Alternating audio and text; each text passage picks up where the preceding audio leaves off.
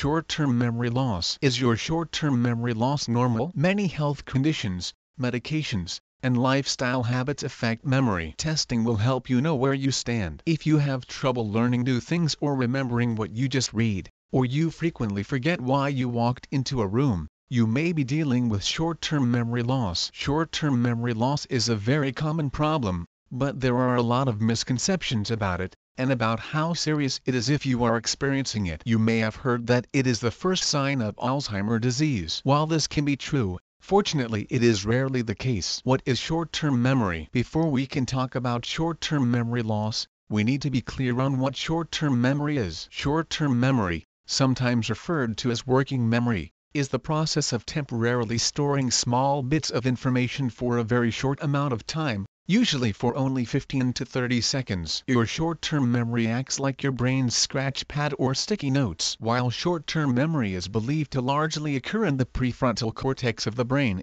it is not a place in the brain as much as it a process that occurs in the brain. Here are a few examples of ways you use your short-term memory during the day. To temporarily memorize a phone number or appointment date until you record it somewhere permanently. To recall the name of someone you were just introduced to. To remember a comment you want to make when your companion is done talking. To prompt yourself when driving as in I will change lanes as soon as the blue car on my left passes. This kind of information quickly disappears unless you make a point to try to remember it. Your short-term memory also acts as a filter, deciding what important enough to keep and what not. In fact, the ability to discard useless information is absolutely necessary to keep your brain from being overwhelmed. Short-term memory capacity. How many pieces of information can your brain hold at one time? The magical number 7 plus or minus 2 is one of the most highly cited papers in psychology. It suggests that we can store 7 pieces of information in our short-term memory,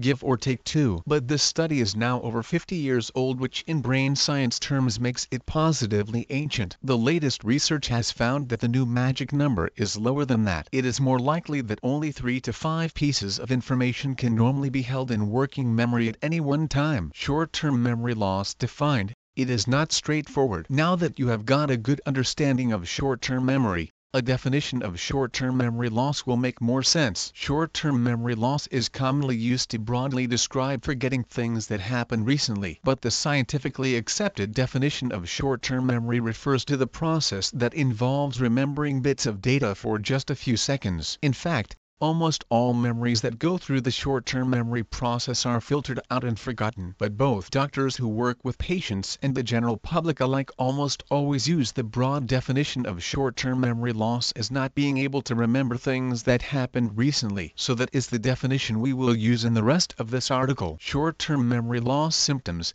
some normal, some serious. Most people wrongly equate short-term memory loss with dementia. While people with dementia usually do have problems with their short-term memory, Rest assured that not all memory loss is caused by dementia and most memory loss is not serious. Here are some signs that your short-term memory loss falls within the normal range and is nothing to be alarmed about. Misplacing common objects. Not being able to come up with the right word at times. Not remembering something you just read. Walking into a room and not remembering why. Calling people you care about by the wrong name occasionally. Moments like these are considered mild forgetfulness. And how can you determine if your memory loss is serious? Serious. One of the most reliable signs of significant short-term memory loss is if your friends and family express concern about your memory issues to you. They are often better judges of your behavior than you are. Other signs your memory loss may be serious include getting lost when you eat close to home, having a hard time following simple book or movie plots, struggling to keep up with daily tasks like paying bills or preparing meals, not remembering whether you have eaten or not, asking the same question repeatedly,